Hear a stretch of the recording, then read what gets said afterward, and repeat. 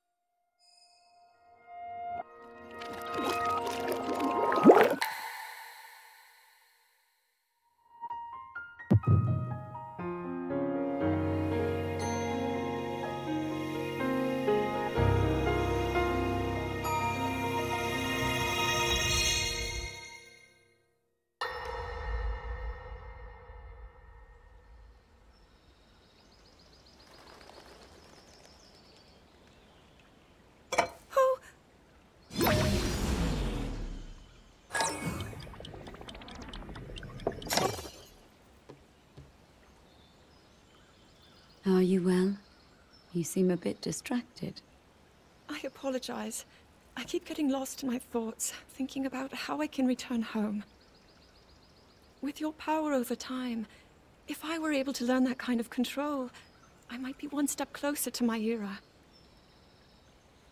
I see. The secret is to think of it like drawing out the object's memory. You ask the object where it was, how it arrived where it is now, and then you coax it back to that original moment in time. The object's memory. I'm sure it will become almost like second nature, and you will be able to find your way home. But Zelda, there is more on your mind than just that. Huh?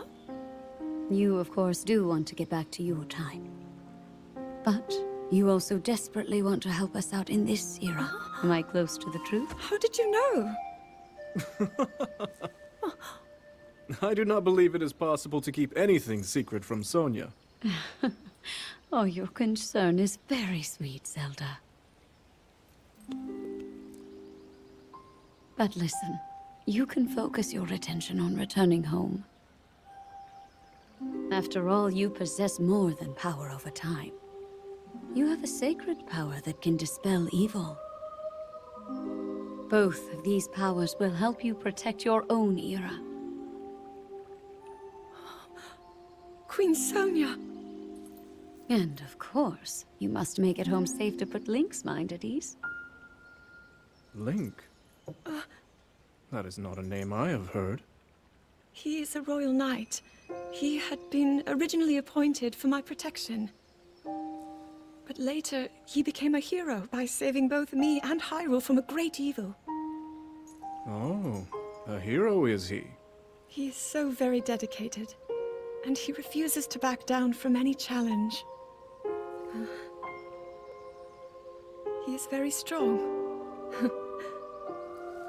and his heart is good and true. Ah, I can see that you have absolute faith in him. Hearing you speak so highly of Link, I find myself wanting to meet him as well. Indeed. I would also like to meet him. He must be quite the brave, courageous knight. What a picture Zelda paints of him.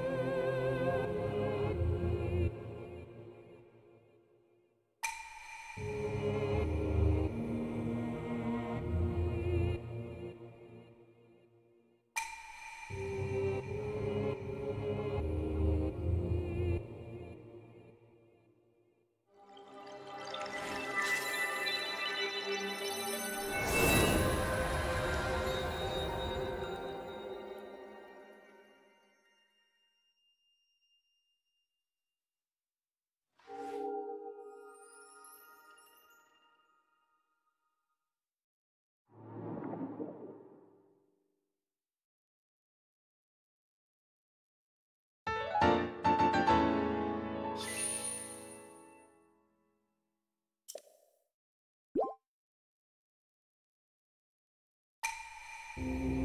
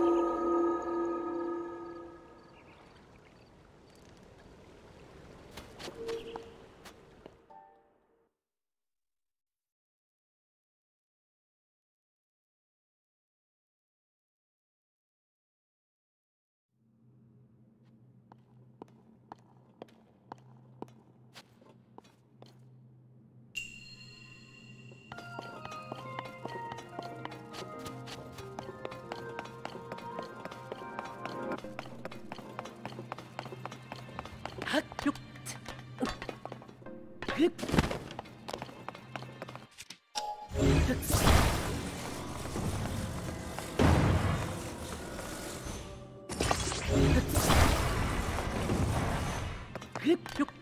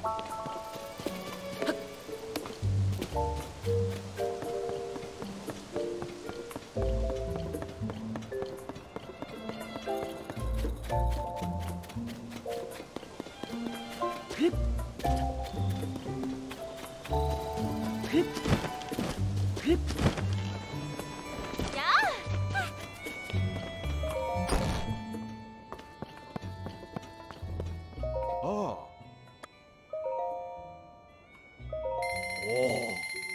Oh.